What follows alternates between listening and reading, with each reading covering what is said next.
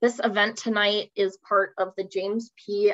Outdoor Adventure Series that the Green Mountain Club has been hosting for 30 years now. Uh, and before we get started, I'll give you a quick intro about the Green Mountain Club and tips for using the Zoom features. So I'm just going to share my screen real quick.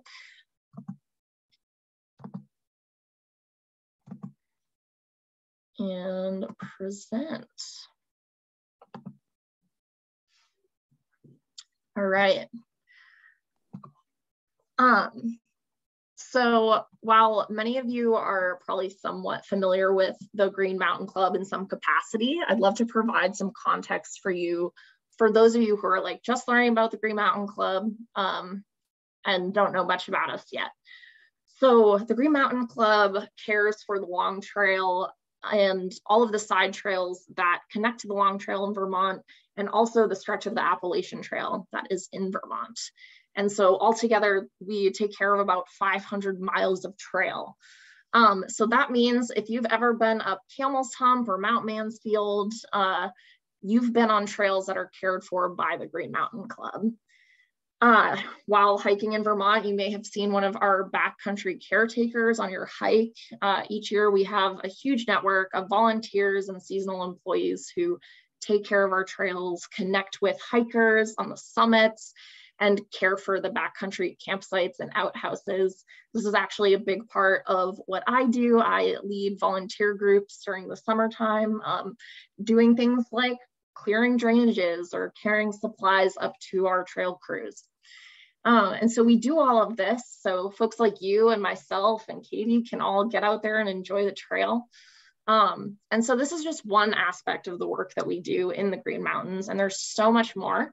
Um, but for now, I invite you to follow us on Instagram uh, at Green Mountain Club. Uh, we have a ton of information on there, whether it be about more upcoming virtual events, winter hiking recommendations and safety or like what's happening on the trail. It's a great resource to learn more about the club and more about hiking in Vermont. Um, we also have a, a, great resource in our visitor center staff who are long trail experts and they're able to answer all of the questions you have about hiking in Vermont, um, whether you're you've never hiked in Vermont, you've never even been to Vermont, or you're planning your through hike on the long trail, they are the people to go to.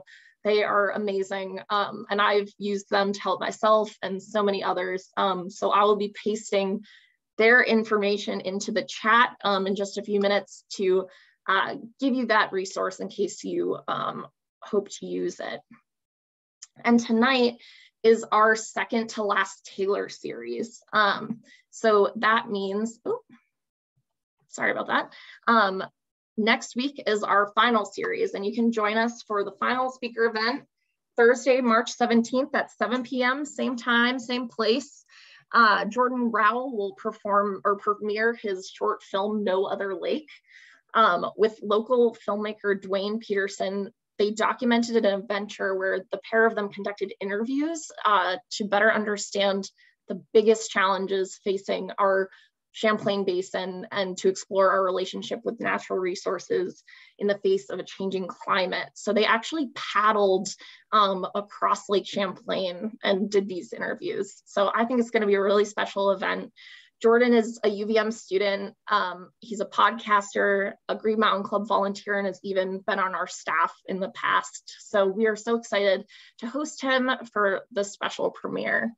Um, you can register for that event the same place you registered for this event um, on our website. Um, and I will drop the link in the chat for that also in just a few minutes. And we really hope to see you there. And just before we get into the nitty gritty of Zoom uh, Zoom tech things. Uh, we want to thank our sponsor, Sunsoil, for making this event possible. Sunsoil is a CBD uh, company, and I will also be posting their information into the chat.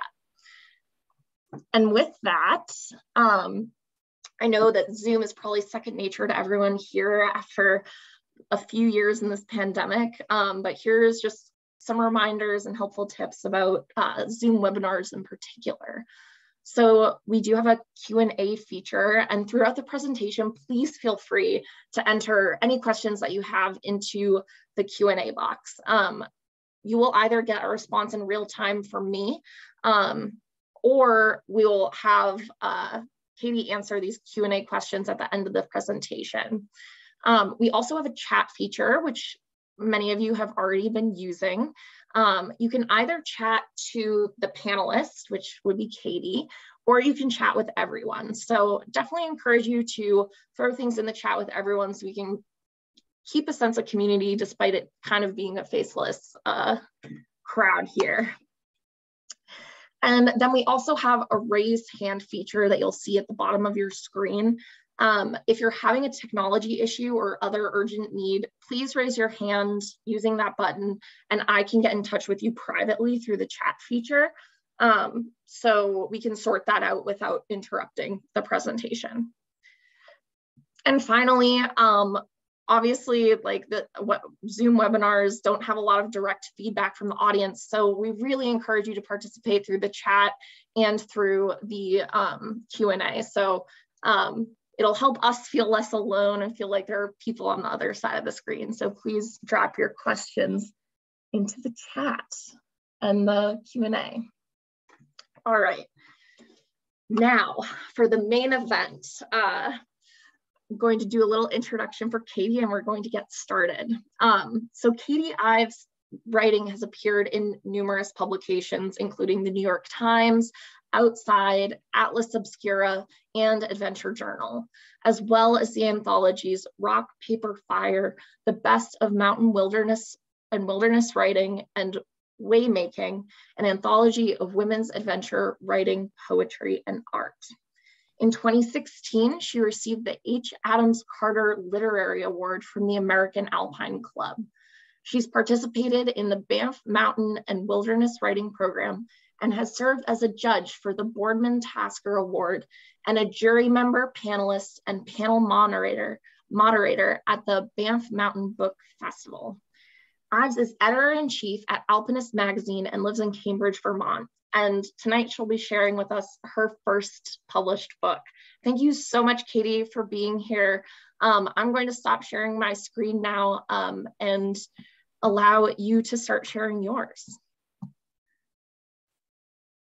Okay. Um, yeah. Hi, everyone. It's great to be here. Um, yeah, just to uh, to start with, since uh, you mentioned uh, Alpinist, this is the magazine that I work for, and we just came out with our latest issue, so it was pretty exciting. And then um, I also have a copy of the book. Um, so here's my book, Imaginary Peaks, um, The Riesenstein Hoax and Other Mountain Dreams. Um, and you can get copies of it in various online bookstores, and you can also find it at um, which is our uh, magazine store as well. Um, so now I just need to uh, get Google Slides working. Uh, let's see. There we are. Um, and I'm going to share my screen in a moment.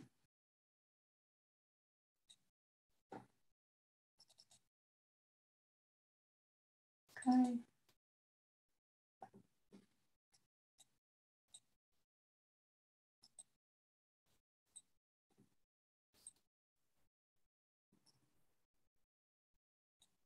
So, so yeah my slideshow. So hopefully everyone can see that. Looks good, Katie. Okay, great. Um, so yes, the Riesenstein. Um, and this is just to start with, this is a page of the uh, photo from the original hoax as it appeared in Summit magazine in 1962. Um, and uh, one of kind of my inspirations for all of this was a, a book by the geographer Peter Bishop called The Myth of Shangri-La, in which he described imaginary peaks as part of an archaeology of imaginative landscapes. Sometimes their presence is revealed only by a single clue, such as a word or a phrase, he observed, but those, these details are doorways. So I'm going to start off by telling the basic story of the Reason Riesenstein hoax, which became my own kind of doorway or point of entry to a journey of trying to understand mountain legends. In June 1962, a black and white photo of Surreal Peaks appeared inside the pages of Summit magazine. At the time, few American climbers had ever seen anything quite like these mountains before, at least beyond their fantasies and dreams. Sheer walls rose abruptly, stacked one atop the, on top of the other, like the ramparts of an extraterrestrial city. Hanging glaciers, dark shadows, and billowing clouds hinted at some cold, stormy place. A caption suggested an area that seemed remote but real. The unclimbed summit of Riesenstein, approximately 8,100 feet near Prince Rupert in British Columbia. It can be reached in two days by bushwhacking up the Klawatti River, who will be the first to climb it. Below the photo appeared an article by an anonymous author about three Austrian explorers who allegedly reached the two, two of the lower points on the skyline. They tried multiple times to climb to the main summit, only to be turned back by an avalanche and a storm. Still, they declared that somebody might be able to get to the apex if that future climber were willing to drill a few bolts on the short, polished rock wall that had stymied their own final attempt. Going along with the article appeared a hand-drawn map of the surroundings. In, this, in the map, striped blobs designated four unnamed glaciers. Arrows indicated the location between the Klawatti and Skeena rivers of British Columbia. The words unexplored area were scrawled across what appeared to be a previously unnoticed blank on modern maps. Entranced, readers pored over Canadian maps, only to realize quickly that no such peaks actually existed in that part of British Columbia. Although the Skeena River indeed flowed through the province, Klawatti was actually the name of a glacier in Washington state, not a river at all. And Riesenstein, which means giant stone in German, was the name of a cluster of boulders near the ruined castle towers of Heidelberg, Germany. So the entire article was a hoax. In the American Alpine Journal, two New York climbers, Al DeMaria and Pete Geiser, later recalled obviously, Summit magazine had fallen victim to someone's sense of humor. Yet there were pictures, palpable mountains. They must have some existence, but where? Chamonix, Africa, Asia, the moon. The Riesenstein appeared doomed to join the ranks of other mythical and fabulous regions like Shangri La. I first came across the story of the Riesenstein in 2011 when I was reading Andy Selters' book of North American climbing history, Ways to the Sky. For me, the tale appealed to a lifelong fascination with imaginary mountains. Growing up in the lowlands of Massachusetts since childhood, I'd had recurring dreams of an invisible high peak that swelled above the farm fields and rolling woods of my hometown. In Mountains of the Mind, Robert Macfarlane famously described all mountains as imagined into existence. Human fantasies have a way of accumulating even on real peaks, coating the topography with drifting layers of symbols like crystals of snow, melting and refreezing into new forms. But imaginary mountains seem to slip the bounds of cartography altogether, reflecting perhaps even more deeply the shape of human longings and fears. To examine the history of imaginary mountains is to venture deep into the conscious and unconscious heritage of mountaineering, exploration, and desire. In Landscapes of the Sacred, theology professor Belden Lane wrote, it lingers yet in imagine, imagination and fragment of dream, the abode where mountains finally reach their greatest height. What is this inner need we humans have for mountains seen within? In cultures around the world, there are tales of mythical mountains, assuming far more grandeur than any found on map or chart. The word imaginary is, of course, an inadequate one. For what is a fantasy to one individual or culture or time is a reality to another. In many traditions, mountains have served as bridges between the earthly and the divine. Medieval European mapmakers filled in the areas beyond their knowledge with lands of rumor and myth, at times locating the Garden of Eden at the eastern edges of Asia, atop a summit so high it might have remained above the waters of the flood. Some early Islamic cartographers depicted Mount Qaf as an emerald band of peaks that encircle the entire world, or else as a metaphor for spiritual journeys. Meru, a sacred peak in Hindu, Buddhist, and Jaina religions, is shaped like a tree in some depictions, spreading its roots into the underworld and lifting its branches to the heavens. Mythic ranges have also flourished along perceived thresholds and frontiers, where visions of the familiar and the unfamiliar push up against each other like tectonic plates. In Tales of the Enchanted Islands of the Atlantic, 19th century writer Thomas Wentworth Higginson declared that imaginary landscapes were an inherent part of the history of North American colonialism. Every visitor had to cross the sea to reach America, and the sea has always been, by the mystery of its horizon, the fury of its storms, and the variableness of the atmosphere above it, he wrote, the foreordained land of romance. Dreams of fantastical riches and earthly paradises lured European seekers first to the shores of North America and then far into the interior, often contributing to the dispossession of the continent's original residents. While stories of claimed discoveries of real places dominate Western history books, many of these tales contain their own pernicious falsehood. The notion that such long inhabited lands were ever terra incognita. This beguiling yet dangerous phrase for unknown land hints at empty spaces, pale and luminous and as ice, where anything might be imagined or drawn. Terra miscognita, as the modern historian Coll Thrush suggests, would be a far more accurate term in most cases, evoking the failures of these explorers to recognize the realities of the traces, paths, homes, and geographies of Indigenous residents. Among the imaginary landscapes of colonialists were range after range of vanishing, shrinking, or transforming peaks. During the early 18th century, John Senex's new map of the English Empire of America, depicted here, showed a long chain of speculative mountains that ran from the Midwest to Florida, including some regions that, as we all know now, are almost entirely flat. And as a child who spent her Christmases in Florida, I definitely would have pr preferred to have some mountains there. Um, by then, a pattern had emerged that would last well into the 19th century. Explorers, or in some cases hoaxers, would report the alleged sighting of a mountainous landscape somewhere in North America that offered gold or diamonds or some other treasure, or later, after mountaineering emerged as a recreational activity that enticed would-be climbers within probably great heights. These geographies would appear on maps, only to be significantly altered or entirely removed by disappointed, baffled, or irate seekers, sometimes after years or decades had passed. One of these glittering mountainous lands in the Northeast was called Norumbega by 16th century European explorers. It was said to be teeming with vast deposits of gold, silver, and pearls.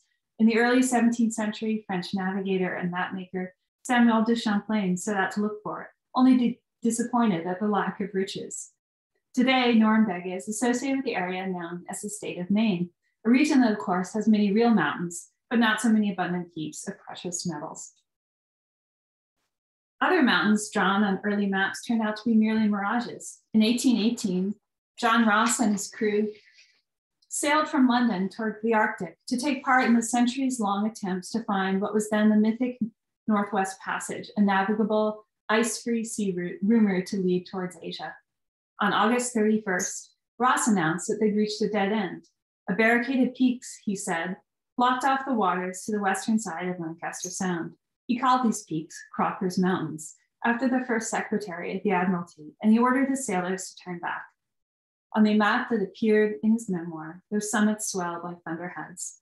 There was only one problem. Ross's crewmates insisted that the mountains weren't actually there. His lieutenant, William Edward Parry, bewildered and frustrated, returned a year later and steered his ship directly through the purported range, as if its invisible walls had crumbled into the icy air and fallen to the waves. Parry named this waterway the Barrow Strait, after the second secretary of the Admiralty, John Barrow, the likely author of a scorching review of Ross's memoir. In later years, other voyagers successfully traveled this way to the other side of the Arctic archipelago, but their ice-ridden, hazardous journey hardly matched the imagined easy trade route of previous myths. In The Man Who Ate His Boots, adventure writer Anthony Brandt noted that optical illusions such as Fata Morgana are common to polar regions. Perhaps Ross's poor eyesight was to blame, or else he confused a rolling fog with billows of mountains. But Barrow may have put his finger on the problem in his review, Brandt concluded. There occur, Barrow wrote, unfortunate moments in the history of a man's life when he is himself unable to account for his actions. The 20th century, recalls Scottish author Malachy Tallack, was a time marked by what could be called undiscovery, the accelerated removal of more and more mythic places from maps. The development of airplanes allowed for a bird's eye view of vast tracts of terrain of which the early mapmakers could only dream. Pilots still encountered mirages above the clouds, snow, and seas, particularly again in the polar regions. They too inadvertently occasionally created phantom peaks. To many people, however, now that surveyors could gaze down on dense rainforests, convoluted massifs, and maze-like ice fields, the last geographic mysteries seemed on the cusp of being extinguished. As old frontiers for cartographic myth-making withdrew, fantasies drifted into ever more inaccessible places, such as the world's highest and then unclimbed summits. Each of, this each of these fabulous mountains seemed to have a fleeting mystery, like the flash of twilight on a distant peak. When climbers approached their apexes, they encountered only ordinary rock, ice, and snow. At last, for many, the displaced longings became detached from any mappable geography into realms of pure fantasy, like Shangri-La, the imaginary mountain utopia of James Hilton's 1933 English novel, Lost Horizon. For some writers and readers of mountain literature, when the first ascent of Everest took place in 1953, it seemed as if one of the final refuges for the unknown in the real world had been lost. I'd always imagined Everest as the last inviolate spot, declared a character in a popular 1950s British mystery novel, Wildfire at Midnight by Mary Stewart. But the dream of inviolate heights lived on in fiction. French author René Daumal's posthumous novel Mount Analogue, printed in 1952, remains a cult classic today. And um, whenever I told people I was working on a book about imaginary mountains, um, the first thing many climbers would say is, Are you writing about Mount Analogue? Which is an indication of just how popular this book still is. In the book, Daumal described a mountain higher than Everest. Its summit must be inaccessible, he wrote, but its base accessible to human beings. It must exist geographically. The door to the invisible must be visible. Daumal explained that this isolated island peak had resisted the discovery of mapmakers because it was formed of material that could create a curvature of space and thus make anything behind it invisible. In a le letter to a literary critic, he claimed that he'd found the doorway into the mountain's hidden world himself, as if suggesting that Mount Analogue was, in a spiritual, psychological, or even physical sense, entirely real. And uh, this is another popular book with modern climbers, and this was the other one I often got asked about um, whether or not I was including this in my book. The idea of a mountain higher than Everest appeared again in another novel from the same decade, The Ascent of Rum Doodle by British author W.E. Bowman, another cult classic among modern climbers. Set once more on a fictional peak higher than Everest, the story served as a parody of nationalistic mountaineering conquests in the Himalaya. And it's partly in this tradition that the Riesenstein hoax came about, a desire to use a practical joke to get mountaineers to think more critically about their underlying motivations, biases, and preconceptions. And uh, this is the atmosphere that helped inspire people to be interested in imaginary mountains. Um, in the years after World War II, the burgeoning of highways, automobile ownership, and suburban sprawl, to many Americans, the world seemed increasingly shrunken and homogenized, a geography of nowhere, as the author James Howard Kunstler famously called it. By the early 1960s, when the hoax took place, most of the peaks in the lower 48 had already been climbed, but the more remote Alaska ranges still seemed to many American climbers like a last frontier, an icy white blank on the edges of their own imaginations. The 1960s were also a time when the imaginary worlds of science fiction and fantasy had a powerful countercultural draw. In a preface to J.R.R. Tolkien's Lord of the Rings, Peter S. Beagle described the 60s as years when millions of people grew aware that industrial society had become paradoxically unlivable. The word progress lost its ancient holiness, and escape stopped being comically obscene. Lovers of Middle Earth want to go there. And there were countries full of imaginary snowy peaks. In Tolkien's book, The Hobbit, the song that awakens Bilbo Baggin's sense of adventure starts with the now famous words, far over the misty mountains, cold. Um, and uh, speaking of, of Hobbit-like characters, I always felt that the uh, uh, conspirators behind the Riesenstein hoax resembled hobbits to a certain extent. Um, and today we know who they are. Um, the word Klawatti may have been intended as a sly clue. All three of the original conspirators were mountaineers who had lived and climbed in Washington state. Austin Post, a photographer and glaciologist, was responsible for the name Klawatti becoming attached to a real glacier in the Cascades years before he gave the same name to the imaginary river of the Riesenstein. Ed LaChapelle, another glaciologist, was highly respected for his snow and avalanche research. And Harvey Manning, a conservationist and author of the classic mountaineering textbook, Freedom of the Hills, had a predilection, then only known to his friends, for coming up with elaborate pranks to fool other climbers. By 2011, when I began researching the hoax, Harvey and Ed had both passed away, but Austin and I exchanged a few emails, and I learned the following story from him. In the early 1960s, Austin had flown over the interior ranges of Alaska, collecting pictures for Glacier Ice, a book he was working on with Ed. After returning to Seattle, he shared his aerial photos with Ed and Harvey, and they amused themselves by pointing out potential routes on unfamiliar peaks. A cluster of otherworldly rock walls caught their gaze. They realized that few, if any, climbers had ever seen them. One of the men uttered in a tone of hushed reverence, Ah, the Riesenstein, and thus the hoax began. Austin died in 2012. Several years later, I spoke with one of Harvey's friends, Dale Cole, who explained to me that the Riesenstein was part of a larger series of hoaxes that Harvey had designed to convey messages about the direction that he felt the mountaineering world was headed. One of Harvey's early mountain hoaxes, a prank that preceded the Riesenstein, involved a summit that he and Dale called No Name Peak. Back in 1959, Dale and Harvey had been sitting around a campfire in the Cascades. Before them, the swirled white and gray stone of Southeast Mox Peak rose like a surreal castle tower.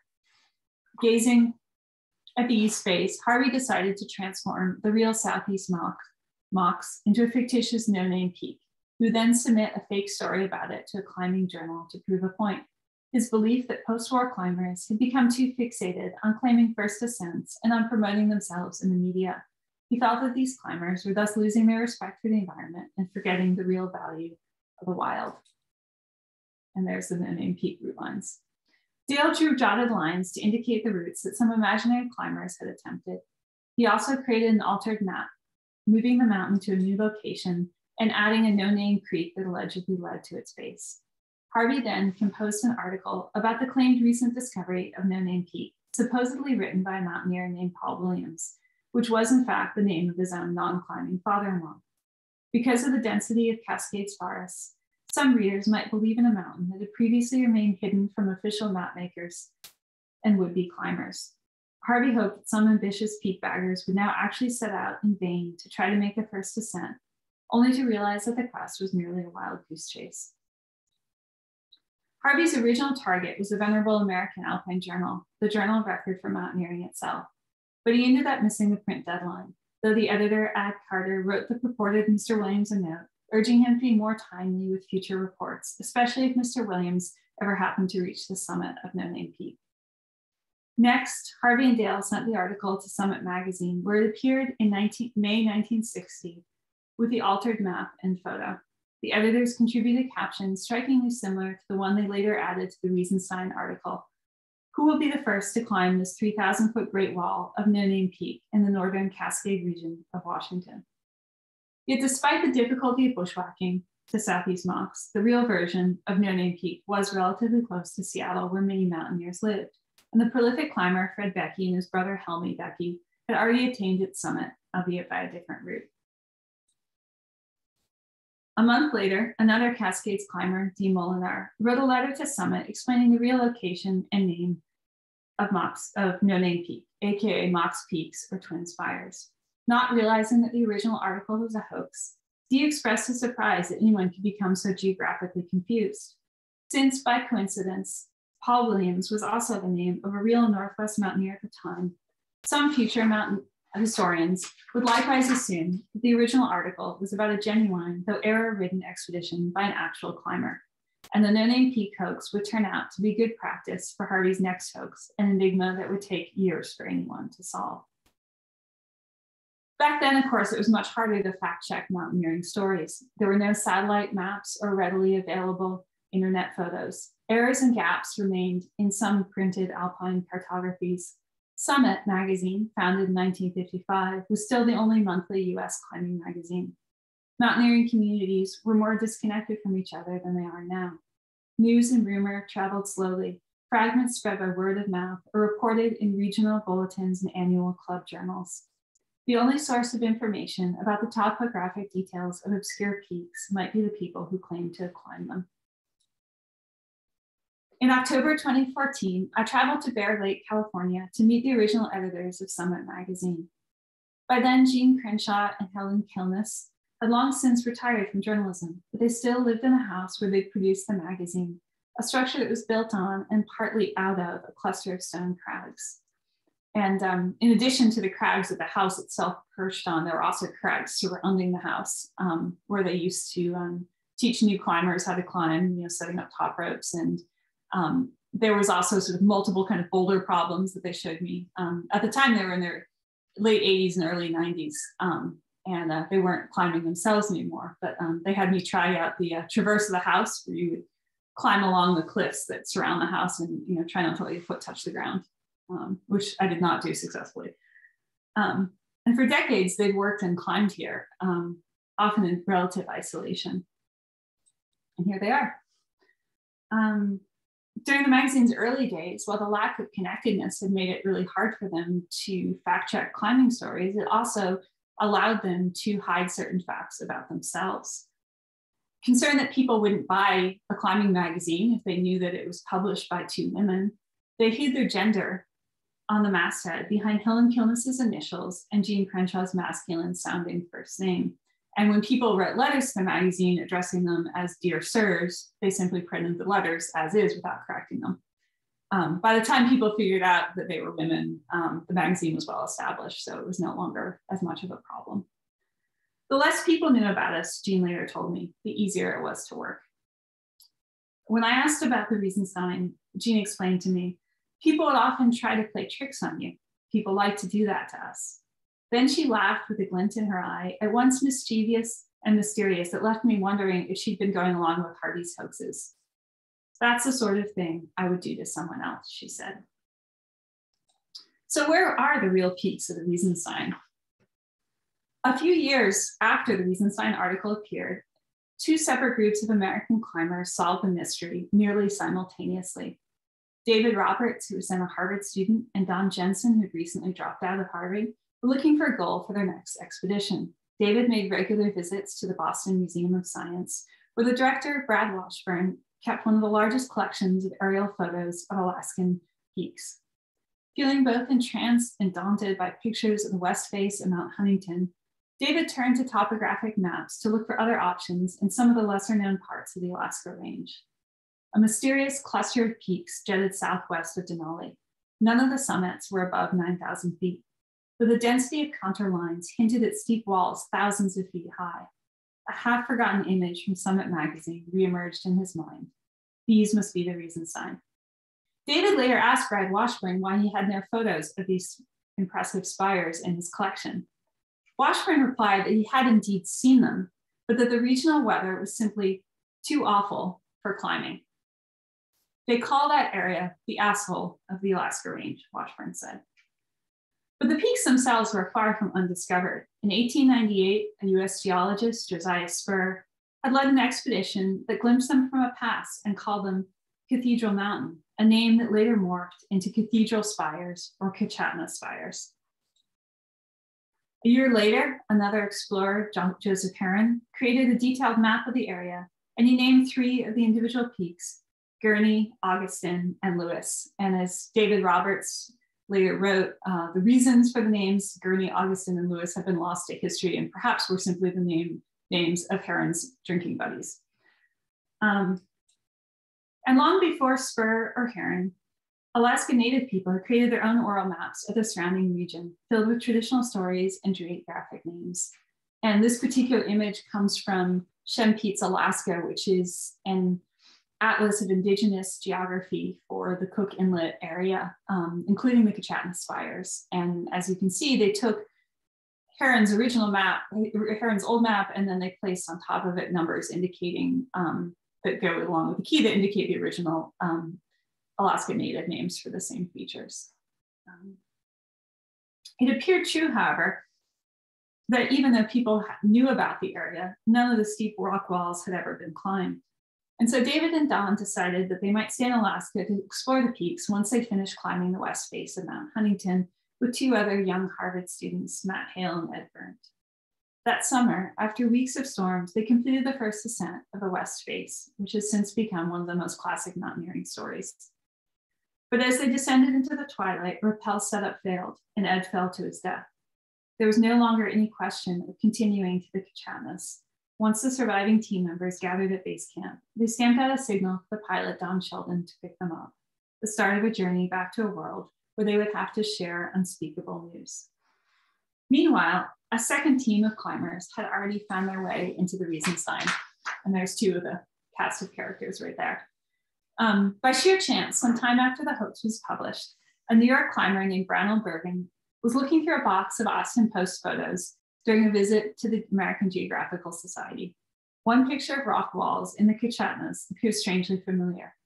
There it was, the giant stone, the Riesenstein, he concluded. Bang, there it was. Brownell located the peaks on a map of Alaska and he shared the news with a number of his friends, including some of the Vulgarians, a group of climbers who were then active, one might say notoriously active, at the Gunks in New York. As the story is often told, the Vulgarians revolted against the conservative approach of the Appalachian Mountain Club at the time, with antics that became legendary, including tipping over a car that they believed belonged to an AMC member. In fact, the car actually belonged to Brownell Bergen. Fortunately for the Vulgarians, Brownell forgave them, and once he divulged the real location of the Riesenstein, the group began plotting a trip there. The 1965 Kichatna's expedition team eventually included Al Maria, Pete Geiser, Claude Suhl, John Hudson, George Bloom, and Aaron Schneider. Pete recalls feeling in tune with the spirit of the hoax. There was a kind of class warfare of a sort, he later said to me, where the early dominance of mountaineering by the wealthy was rapidly breaking down as climbing began to be done by more working class folks like the Vulgarians. It seemed to us that a lot of the climbing journals had these stories about climbs in exotic places, seemingly out of reach for us where for all they, we knew, they could have made the whole thing up with a few selected photos. But hoax or not, the mountains were real, and even better, accessible by VW. And there's the VW. Um, in July 1965, Al, Pete, and Claude crammed bags and mattresses into the back of a VW microbus, and they left New York City for Alaska, stopping in Minnesota along the way to pick up George. They met up with two other members of the team Aaron and John in Dawson Creek at the southern end of the Alaska Highway, and they continued north for a thousand miles across unpaved road. Icy air wafted from distant glaciers. Gazing at vast expanses, Claude imagined they were driving off the maps altogether. This treasure hunt was real, he thought. Arriving in Talkeetna, they boarded a bush plane flown by the legendary pilot Don Sheldon. They picked out a route on a mountain later known as North Triple Peak, a blend of rock, snow, and ice that seemed to match their previous experiences in the Canadian bugaboos. But Don couldn't find a place to land on the glacier below it, so he dropped them off instead on the other side of a sheer ridgeline. There's their base camp. The reality of the place seemed even more alien than they'd imagined it would be. Within a few square miles, there were more than 40 summits between 7,000 and 9,000 feet. Pale amber and ash colored granite faces swept high into the air amid flying buttresses, long arcs of cracks and couloirs, strange nooks of sudden chasms, stone windows and caves. Glaciers emanated from the center in rays of white, separated by sharp rock spines. In the American Alpine Journal, Alan Pete later wrote, the immensity of the walls suddenly took on the proportions of an absurd joke. The summit seemed the epitome of inaccessibility. For a warm up, Pete, Al, and John chose what appeared to be the easiest nearby summit. A blizzard whirled through the air, and they spent half a day floundering up a long snow slope to the apex of a 7,270 foot mountain. Its icy crystals clumped like wet down feathers. For the next 10 days, they tried to find a way over the ridgeline and into the cirque where they originally planned to climb. When they got to the top of the lower saddle, the rock on the other side turned out to be too rotten to descend safely clatter falling stones cut one of their ropes. In horror, they call the spot Gashlycrumb Col, after a book by Edward Gorey that illustrates the deaths of 26 children, one for each letter of the alphabet. They realize now that they were essentially trapped in the area where the plane had left them, So they named the original place Coolsack Glacier, a play on words to mean cul-de-sac or dead end. And they resigned themselves to spending the rest of the trip climbing only the peaks directly above, trying to climb only the peaks directly above the glacier until dawn returned for them. Gradually, they drew their own map of the place, choosing names that reflected the absurdity of the adventure. One peak they called After You, as Claude explained, so I can truthfully say that I named a mountain after you. No need to thank me. Since the unattainable walls appeared like the ultimate expression of their aspirations, they named another summit A Spire, another play on words. Gazing out from the top of one 7,900 foot peak, which they called Kotzebue after an Alaskan town, they realized just how narrow the ridge crests were, almost like mere curtains of stone, yet another unusual aspect that increased the difficulty of travel there. Later, a thick mist descended as Al, Aaron, and George crossed the final snowy ridge towards the summit of a mountain they referred to as Vulgarian Peak. Unable to see, they spent the night in the open, only to be caught in an increasingly violent storm. As the same dark clouds rushed towards John and Pete, they were skidding across a steep, glassy slope of ice above a sharp cliff near the top of an 8,250 foot mountain, which they named the Spider after the notorious section of the Eiger North Face. It was like climbing the roof of a house, Pete recalls, a very slippery, steep roof.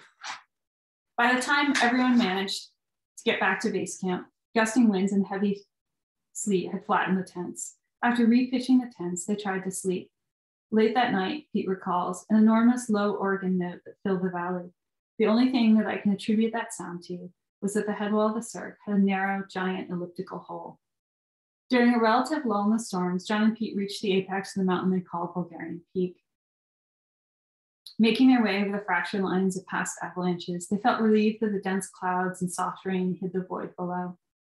At last one day, a brief window of blue sky opened, and Don Sheldon returned to pick them up. In the American Alpine Journal, Alan Pete wrote that just as they left, clouds and storm began again to reclaim the Riesenstein. Today, Pete calls the experience a harsh but indirect lesson to always be humble in the face of nature and reality. I felt like I'd been there, but the mountains were unperturbed. They were just there, and we could sort of live in their bareness for a while. Then we'd have to go. The longing remained. Why is this desire part of our collective psyches? He asked. And then he tried to answer, I don't believe it's something that's just restricted to people who climb. There's always the mystery of what lies over the horizon. When the American Alpine Journal and Summit published the 1965 trip report, the editors replaced the Vulgarians' peak names with numbers, and today most of the peaks have new names yet again. Summit also reprinted the original Riesenstein hoax photo. Below the image, now correctly captioned, they recall the fictitious information from the 1962 article which they attributed to the work of an unnamed practical jokester. A year later, during the autumn of 1966, David Roberts joined a second expedition to the Kichatnas, along with Art Davidson, Dave Johnson, Peter Meisler, and Rich Millikan. They learned from the Vulgarians' reports, and they knew how to avoid getting stuck on the Coolsack Glacier, or the Cul-de-sac Glacier, as it came to be called. They also had more of the mountaineering skills needed to, to climb such big storm blasted walls. By the end of their trip, members of the 1966 expedition had climbed the highest summit in the area, an 8,985 foot ice crested monolith, which they called Kichatna Spire, which you can see here in a modern photo, not from 1966. In 1968, David published the first mini guidebook to the real Kichatnas in Summit magazine, the same journal where the hoax had originally appeared with the attention, as he put it, to shortcut for future visitors the problems of Aspire's expedition by chronicling what is known about the place, and to entice serious mountaineers with the prospect of some of the most exciting mountains on Earth. Such promises of a hidden wonderland soon lured, lured others. Over time, the Kichatnas no longer seemed like the epitome of inaccessibility, as Alan Pete had once called them. In 1976, Mike Graber and his partners established Illusory Ridge, on Middle Triple Peak. One of the original lines that Ed LaChapelle, Austin Post, and Harvey Manning had inked on the Riesenstein photo. It was as if the fictitious mountains were emerging at last out of the imaginary and the sublime and into the attainable, the measurable, and the true.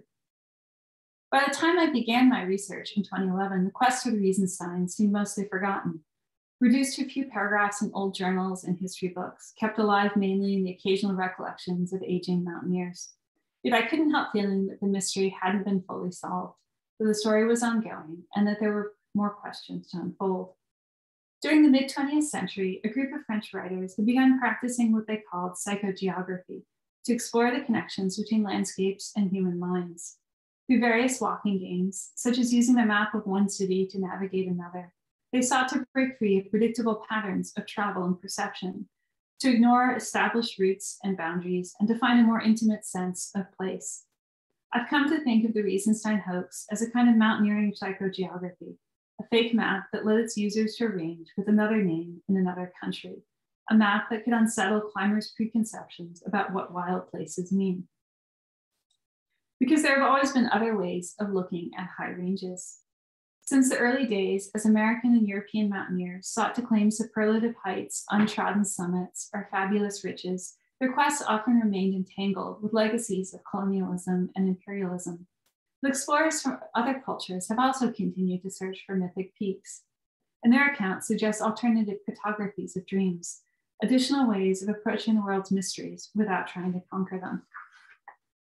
In 1917, a Tibetan Buddhist visionary named Sera Khandro, Khandro traveled to Amni Machen, a sacred mountain in the Kunlun range, around the same region where James Hilton would later set his imaginary mountain utopia that he called Shangri-La more than a decade and a half later. Although mountain modern measurements describe Amni Machen as less than 6,300 meters high, some Western climbers once thought that it might be the tallest mountain in the world.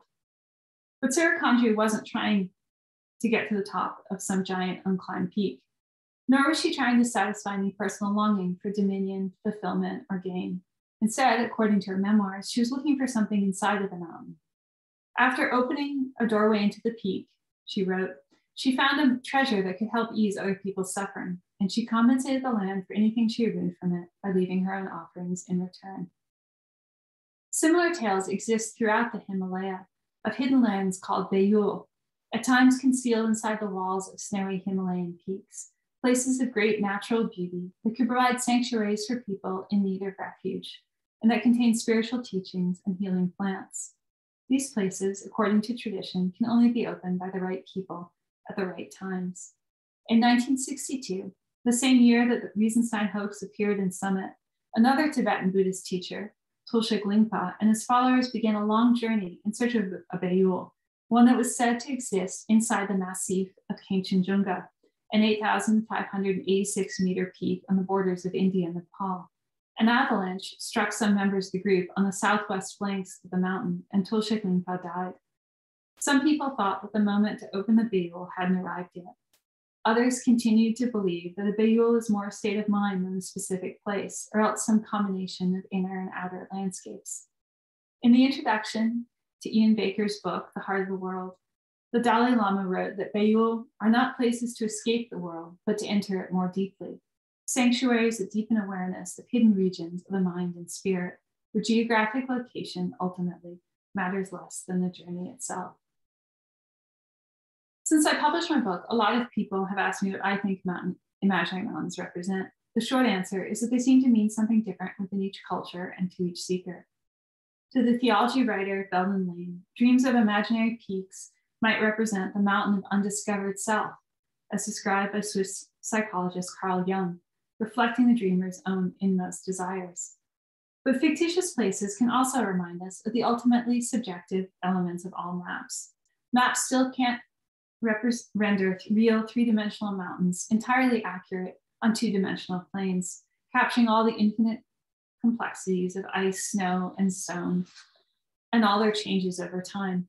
And as the map historian J.B. Harley once wrote, far from holding up a simple mirror of nature, maps also redescribe the world in terms of relations of power and of cultural practices, preferences, and priorities. All too often in history, dominant maps and narratives of white explorers have erased the geographic knowledge of Indigenous people, replacing their earlier names and stories with new ones. In some ways, the tale of the Riesenstein reflects some of these problems. Yet by subverting familiar notions of cartography, the hoaxers also encourage people to gaze more closely at what appears in the gaps between what is represented on a map and what is not. To search for everything that has escaped the maps and everything that only seemed lost. In an email to me, Dale Cole, Dale Cole wrote, Harvey Manning and I spent much time thinking about how we could make the world a better place. A hoax now and then seemed like a likely way. To explain what he meant, Dale added that Harvey loved to quote a few lines from the poet A.E. Housman. Ale man, ale's the stuff to drink, for fellows whom it hurts to think. Look into the pewter pot to see the world as the world's not. Imaginary ranges invite us to see the world as it is not, but they could also show us how the world could be. And once you begin to look for them, you start to see them everywhere. Each furrow, crag, and hill has its own local myths. Each square of map conceals forgotten phantom heights. Each human mind contains innumerable ranges, sparkling like starlight and like snow.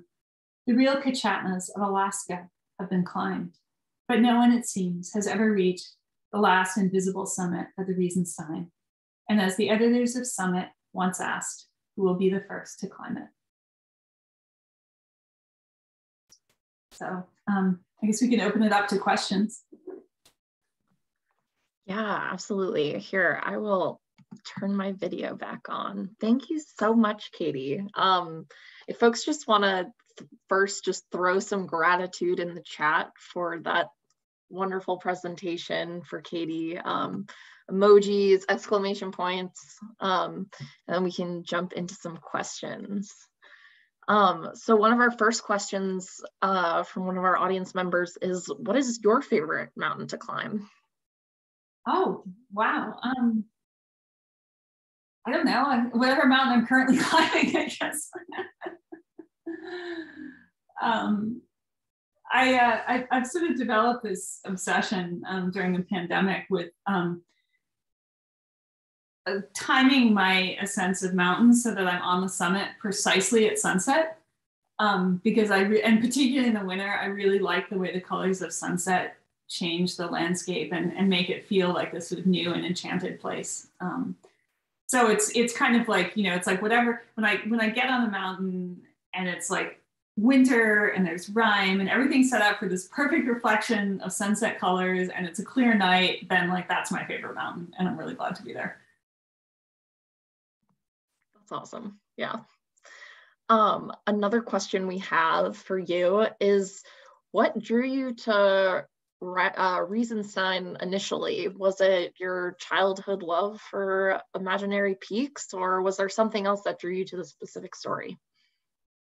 I just I came across it by accident. I was reading um, Andy Selters' book Ways to the Sky, and there are a few paragraphs in there about the Riesenstein hoax, and I thought like, oh, this is such a cool story. And, you know, I want to know more about it. And um, I was sort of surprised that like nobody else had written a book about it before because it, it seemed worth delving into. And yeah, I mean, definitely like my own childhood obsession with imaginary mountains. And then once I started doing more research and learning more about Harvey Manning, I became really, really interested in him and his literary career and all the other hoaxes that he did, um, in addition to the ones that I mentioned, because he spent decades plotting these like hoaxes and passing them off in climbing journals. And it's just fun to kind of go back and retrace some of some of these conspiracies um, because he left records of them in his letters, um, which are in the University of Washington archives now.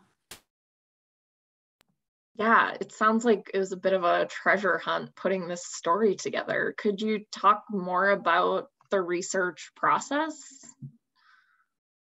Yeah, I mean, I, I worked on it kind of off and on um, for about a decade.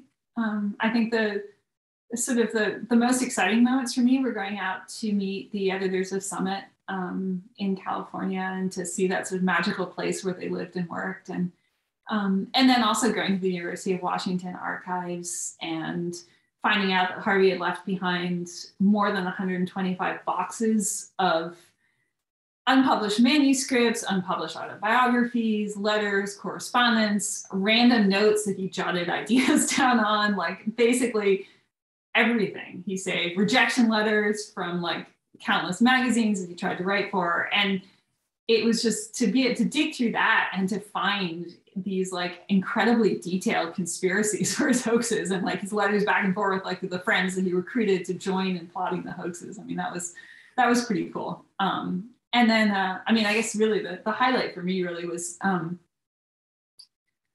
two of Harvey Manning's kids had told me that there was this one kind of really beautiful place in the Cascades where he'd wanted his ashes to be scattered. Um, and it wasn't on any maps. Um, it's like an unmarked trail that leads me there. So they like, one of them drew a map for me and, you know, on the Cascades with this like hand drawn map and, um, and, and found the place um, more by sheer luck than any navigational skill on my part. And it was i mean it felt like a map. it felt like the enchanted places that you wrote about only this place was actually real. Um, you know these beautiful wildflowers and the snow-covered peak and like this cascade running through it. And it just it was it was really cool to actually find this place that he talked about and one of the one of the places that was real as opposed to imaginary yeah, I can imagine he must have had some people guessing what was real and what was fake when he was talking about places. Yeah. Um, so we have a question in the, the question and answer. So I know you talked a little bit about some of the Buddhist philosophy and um, some of their experiences around imaginary peaks, but we have a question um, from Michael. Uh, what about the Buddhist guidebooks to Shambhala describing both inner and outer journeys? Many monasteries in Himalayan highlands have these among other religious texts. Yeah, there's um, I mean there there's there's Shambhala and then there's also um, Bayul, the kind of the the hidden paradises that exist throughout the Himalaya. Um, and yeah, there were people talk about having gone to some of these places and they left behind guidebooks. Um, there's a wonderful book, Ian Baker's book, um, is it Journey to the Heart of the World, talks about his attempts to actually follow some of these guidebooks and to to find one of these places. And it's a beautiful book that talks about that history of um, which is another kind of search for imaginary mountains. And I think, I mean, you know, I, I, use the word imaginary loosely because, of course, you know, to to certain Buddhists, these places genuinely exist, and and that was something I tried to be careful about with the book too, is to you know make it clear that I'm not saying that these places don't exist. Um, and uh, but yeah, I think that was something that interested me was that you know you start to kind of look at the history, and you know, it's like every culture has these kinds of stories of mythic mountains or imaginary mountains or sacred mountains and of journeys to them, you know, going back to like the Epic of Gilgamesh, um, which involves a quest for an imaginary, well, a, a, legendary peak where, you know, the hero is supposed to find the, the secret of life and death. So it, there's something that's just seems to be inherently human about this desire for these extraordinary mountains um, you know, continues today. Wow. Well, thank you so much. We are coming right up on our 8 p.m. end time. So if we could probably take one more question if anyone has any. Um, otherwise, we'll wrap up. I'll give you a few seconds.